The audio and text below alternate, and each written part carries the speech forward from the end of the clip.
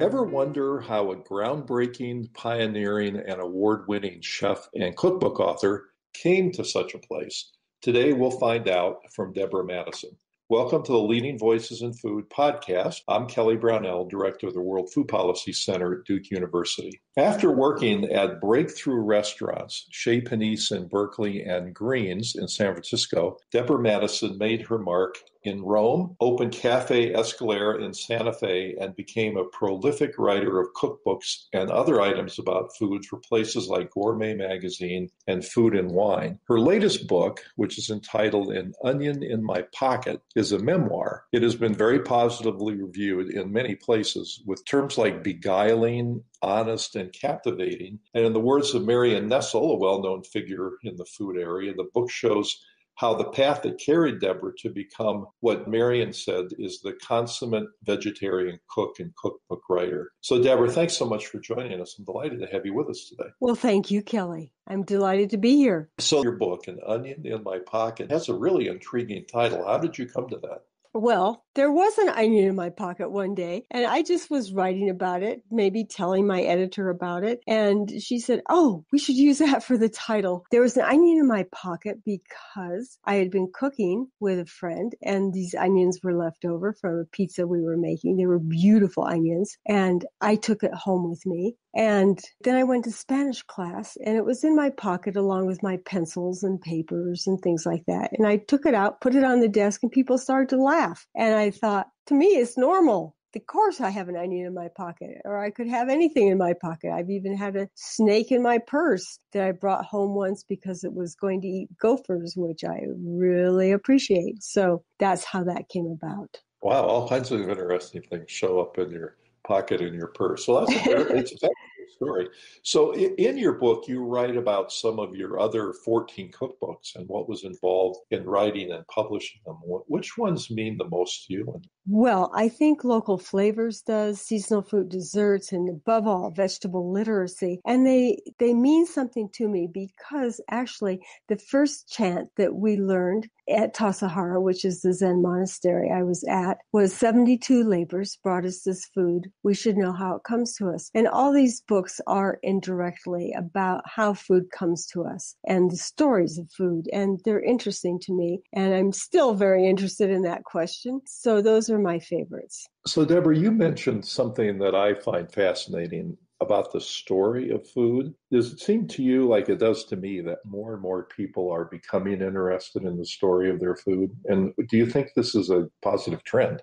Well, I feel like it's both positive and not so positive. I hope we're not going to lose what we've gained in variety, particularly of vegetables, because it's been a long, long fight. You know, I mean, 40 years ago, there was nothing there was really nothing to eat and now there's a lot and yet people are going back to old things as vegetables become harder and harder to get. I've even cooked corn dogs for my husband who requested them. And I thought, oh, really? I've never even had a corn dog. What is a corn dog? I had to go online to learn how to make one. I think that there's kind of a retrograde happening right now in the pandemic. At the same time, I, I think that people are interested in the story of their food and they have to be because it's disappearing. You know, as I look out there and I see more and more restaurants have a board on the wall that lists the farmers where the food comes from. And you hear people talk about food miles or the environmental impact of the foods they're purchasing or consuming. And, you know, people are interested in animal welfare or others are interested in some other issue of this. But when you put it all together, it seems to me that the number of people who care about these things has gone way up. And that I at least see that as a very positive trend. But I appreciate your thoughts on that.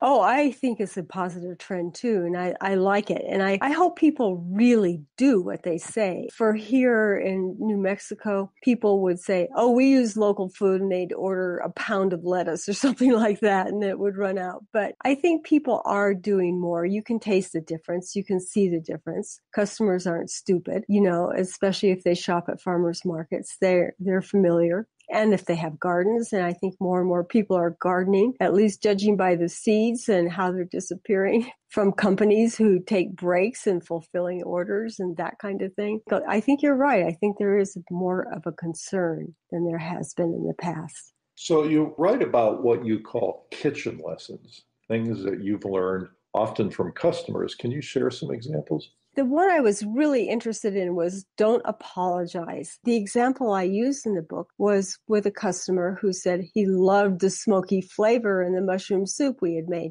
I, now, I knew there wasn't supposed to be a smoky flavor, so I just said thank you very much because why make him feel terrible about misjudging or not recognizing that the solids had fallen to the bottom of the pot and were scorched and that that's what he was tasting. So that was a lesson that I did learn very much from customers. Other lessons I knew were I learned were to one eat in the dining room like a customer is very very important as a way to getting to know your food. Treat everybody the same for sure you have to do that. And and i mean i learned these lessons in the most painful ways possible. Marion cunningham taught us a really good lesson when she said debbie dear do you not believe in salt and then she talked about salting food and how you should salt as you go and you cook. Let's see. Be gracious always to everybody. You know, people would come into the kitchen and tell me that that was the best meal they'd had. And I'd want to say, you're kidding. What do you eat normally? You know, but I finally had to learn that their experience was very different from mine and that it was just important to say, I'm so glad you enjoyed it and actually mean it. And the last lesson wasn't so much a lesson, but a hint of things to come, which was know that the six months in the beginning will be the hardest, but you will get to leave one day. And that did happen almost to the day. And I was reflecting upon that and thinking at the time, oh, six months have gone by. I've made it. We've made it. And now Greens is over 40 years old. It's amazing. let's, let's, talk about that a little bit. So, if you think back to those days when you worked at places like Greens and Chez Panisse, how are those or similar restaurants different today than they were back then? Certainly, they're more popular and visible, but beyond that, have, have things changed much within the restaurants?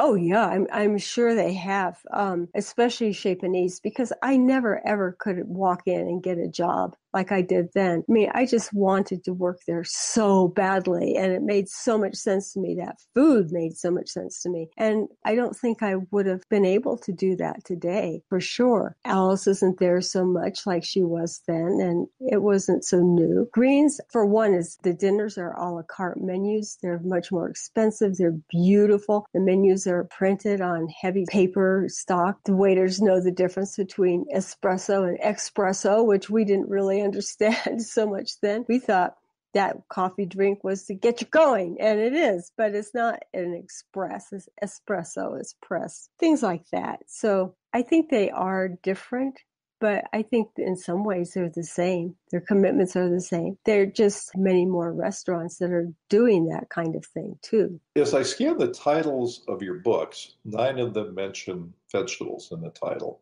but you say you're not a vegetarian. Why is that? Well, I just find it's too limiting. It's it's just too limiting. I think I, I'm probably a natural vegetarian and that that's the food I really love to cook and eat. But if we are a nation of meat eaters, and I really think we are, I feel it's important to to know what that's about, and that's why I've been on the board of the Southwest Grass-Fed Livestock Alliance twice. And if somebody I know, like my husband, for example, wants meat and he was raised with meat, I I'm happy to cook it for him. I, I don't like the limits of vegetarianism or any kind of food title. I don't really care to have a label attached to what I eat. So, given that you're so prominent in writing books for people who are vegetarian, do you get any pushback yourself for the fact that you're not strictly vegetarian yourself? That's the strange thing is I don't. I have mm-hmm. never gotten pushback. Maybe people are horrified. I don't know. But in my book, Local Flavors, I actually did have 11 recipes that were for meat because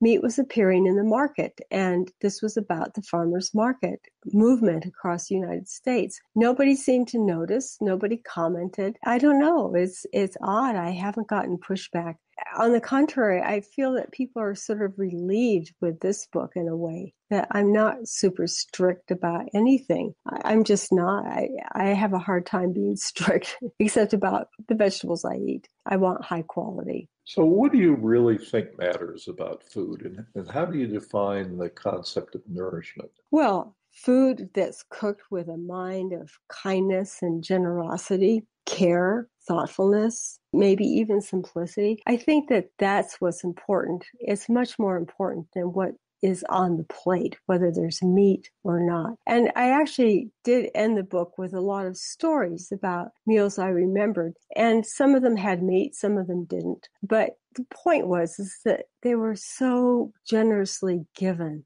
and prepared for me that I remembered them. Some of them happened quite a long time ago. You know, it's fascinating to hear you use words like generosity and kindness in describing how food can be given and received. How does that come through in the way, say, a restaurant can provide food to people or how families can do it? Because it sounds like that's very important. Well, it, it is. And I've always found that to be true at Chez Panisse. I love for example, when people come into a restaurant, they're welcomed, you know, with kindness, with hello, can I help you? And oh, you have a reservation, what time? And please follow me. And there's bread on the table or olives or something good. And that's a kind of food kindness that can be extended to strangers. I was writing in my book about more personal kinds of kindness, but not always. In fact, the first story I tell was a meal in Scotland that I had. And it really pointed me to my North Star, which was about how food in season and in its place is the best food always. And, you know, that was because a woman agreed to feed this older woman that I was traveling with and myself. And we were really, really hungry. And we sat and waited and we looked at the garden and we looked at a lake. And pretty soon she came in with a platter with the vegetables from the garden and fish from the lake. It was beautiful. It was really quite stunning. Well, it's really wonderful to hear you talk about food in human terms. That you know, it's more than just nutrition; it's more than nourishment, and it's it's more than what precedes eating it, all the environmental factors and the like. But that it really can form a type of human kindness. So it's really wonderful to hear your perspective on that. And I just want to thank you so much for joining us today. You had some amazing things to say. And your book, An Onion in My Pocket, I'm sure will thrill lots of people to hear your journey about how you got to the point you are now today. So thank you again for being with us. Well, thank you very much. So our guest today is Deborah Madison, an American chef, food writer, and cooking teacher her latest book, as I mentioned, is titled An Onion in My Pocket. And thank you for listening. If you would like to subscribe to the Leading Voices in Food podcast series, you can find it on Apple Podcasts, Google Play, or your favorite podcast app. Podcasts and transcripts are also available on the website of the Duke World Food Policy Center. This is Kelly Brownell.